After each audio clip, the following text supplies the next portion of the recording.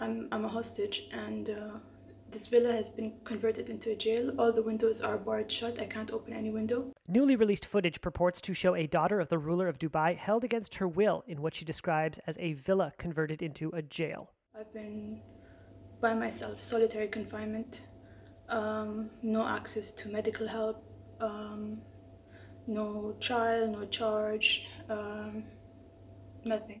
Britain's BBC published the video on its Panorama news program Tuesday. Reuters has been unable to independently verify when or where the video was recorded. Sheikha Latifa bint Mohammed Al Maktoum made headlines in 2018 when she claimed she'd been abducted by her father. A human rights group at the time released video she made describing an attempt to escape Dubai by boat.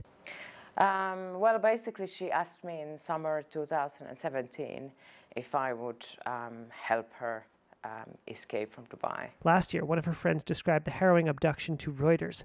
The last time I saw her, yes, she was kicking and screaming and she was dragged off the boat. Sheikha Latifa's mother, Princess Haya, is the former wife of Dubai's ruler, Sheikh Mohammed bin Rashid. In a legal battle last year, a London High Court judge accepted her allegation that the ruler ordered Latifa's abduction. His lawyers rejected the allegations. I'm, I'm a hostage. The Free Latifa campaign, which has lobbied for her release, said it managed to smuggle a phone to her. The Dubai government referred questions about the video to the ruler's law firm, which did not respond to a request for comment.